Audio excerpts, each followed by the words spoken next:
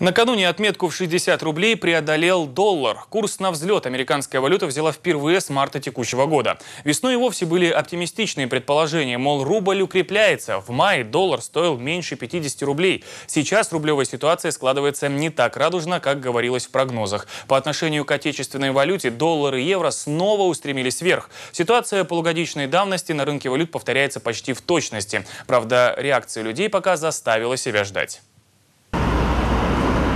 60 рублей за 1 доллар. И вновь валюта стала расти в цене. Не отстает в этом плане и евро. Его курс прибавил 88 копеек к уровню закрытия торгов предыдущего дня. Эксперты выделяют лишь одну причину падения отечественной валюты – снижение цен на нефть.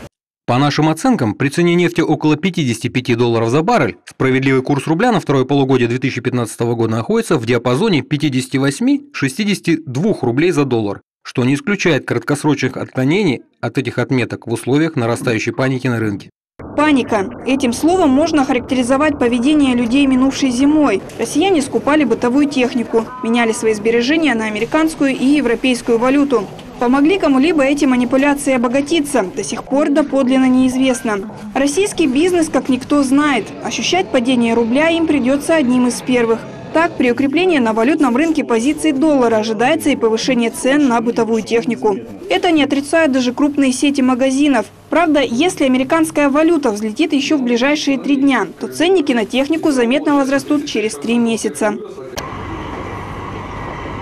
Повлияет укрепление курса доллара и на туристический рынок, и на автомобильный бизнес. Практика последних шести месяцев показала, ни одна отрасль не останется незатронутой. Повышение цен люди ощутили практически на всей группе товаров и услуг.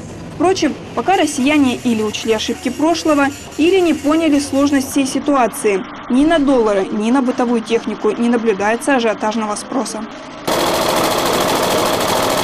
Любовь Ломака, Сергей Захарушкин, Амурская служба новостей.